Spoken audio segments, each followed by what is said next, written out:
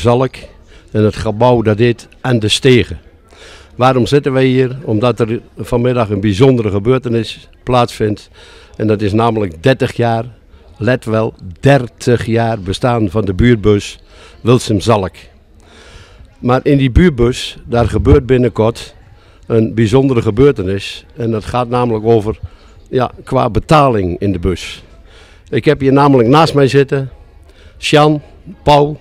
En Sjan Paul, die kan ons alles vertellen hoe dat straks het apparaat gaat werken in de bus. Ook voor de mensen, voor de passagiers enzovoort. Eerder was het natuurlijk zo dat je gewoon met cash, dus met uh, klinkende munt kon betalen. En uh, vanaf het voorjaar, uh, dat zal misschien februari worden, weet ik nog niet precies, is het niet meer mogelijk om met cash in de bus te betalen. En dan is het alleen nog maar mogelijk met een, met een pinpas. Uh, daarvoor is er eigenlijk een uh, gewone pinpad. De OV-chipkaart blijft natuurlijk ook gewoon, hè, want dat is eigenlijk waar we het liefste willen dat ze daarmee betalen. Maar heb je geen OV-chipkaart, ja, dan zou je dus met de bankpas kunnen gaan betalen. En dan werkt eigenlijk hetzelfde als je in de winkel, als je in de winkel gaat betalen. Nou, dit, dit apparaat zit, uh, zit vast in de bus. Uh, u wil een, een, een kaartje kopen, een enkeltje kaart, een vierrittenkaart. Uh, nou, die, die vraagt u aan bij de chauffeur. de chauffeur die pakt een gewoon kaartje. Ze zet hij ook nog gewoon een stempel zet hij daarop. Alleen de betaling wordt dan anders. En dat gaat dus gebeuren gewoon met dit kastje zoals dat dus ook in de supermarkt is. De chauffeur die zal het bedrag zal die intoetsen. Die zal hem naar, naar de passagier toe richten. En dan is hij op twee manieren eigenlijk dan nog te betalen. De kaart insteken en dan de pincode te gebruiken of uh, contactloos, wat we ook steeds meer uh, zien, ook in de winkels.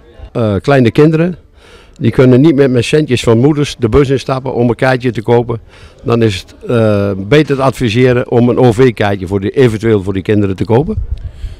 Ja, het is ook uh, 9 van de 10 keer moet ik zeggen, is het goedkoper om met uh, de OV-chipkaart uh, te reizen. En het, en het is zo dat de kinderen dus van 4 jaar, of in ieder geval ouder dan 4 jaar, die dus een kaartje moeten kopen.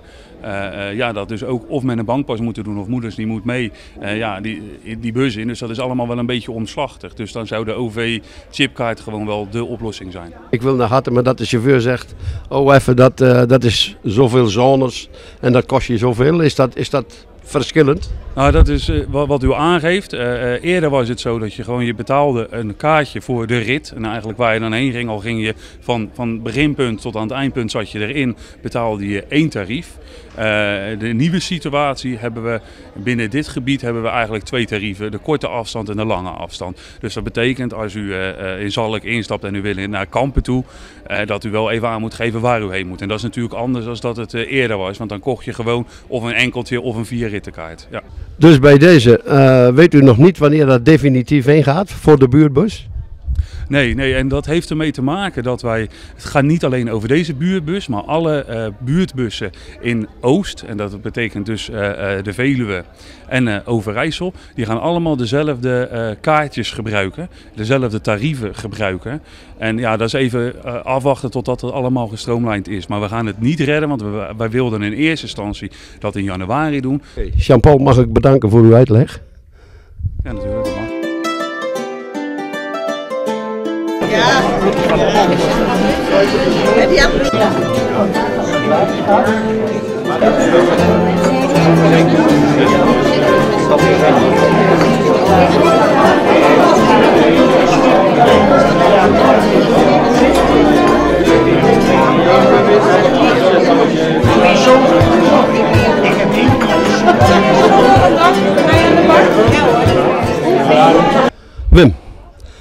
U rijdt ook op de buurbus. Ik heb geen idee hoe lang u op de buurbus rijdt. Alleen ik weet dat u ook op de grote bussen heeft gereden bij Connection. En daar had u een bepaalde functie. Ja, dat klopt. Ik ben in 70 bij de VAT begonnen als chauffeur zijnde. Ik ben in 78 naar het uh, rayonteam gegaan voor controle. En ik ben in 82 naar het rayonteam gegaan voor planning en vervanging van de rayonchef.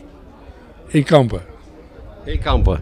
En hebt u de tijd meegemaakt toen destijds dat de buurbus erin kwam? Dienstregeling gemaakt.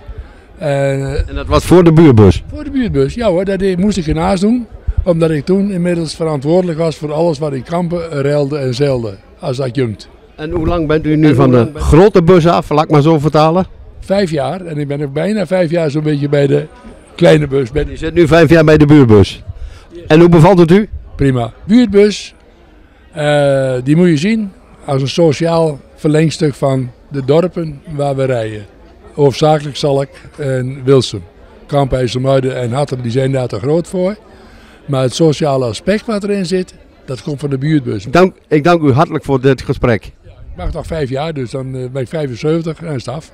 Kijk aan. En nog veel plezier. bijeenkomst van de buurbus die als 30 jaar bestaan is. En bij de buurbus hebben ze namelijk een, ook een totaal bestuur. Johan ten die zit min of meer ook in het bestuur. Alleen die doet alle PR-zaken. Laat ik het zo zeggen, ik wil het heel positief benaderen. De website die wordt best actief bezocht.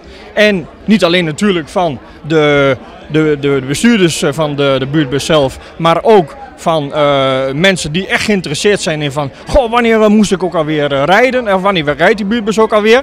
De buurbus. Wat houdt de buurbus precies voor jou in? Nou, nogmaals, ik doe dus de PR, de reclamewerking. Maar ik vind het vooral leuk om, eh, ja, laat maar zeggen, de zijfunctie te hebben.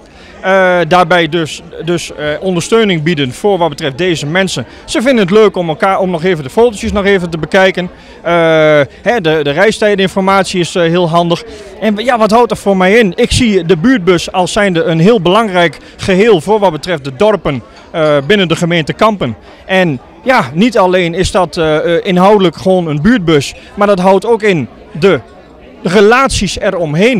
Ik bedoel, als ik hier kijk naar deze mensen hier, allemaal is het in, even in gesprek met elkaar. Dat, dat schept een bepaalde band.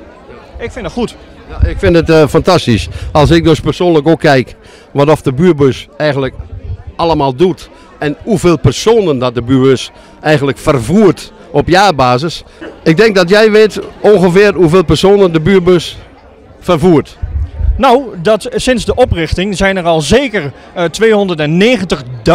290.000 passagiers vervoerd.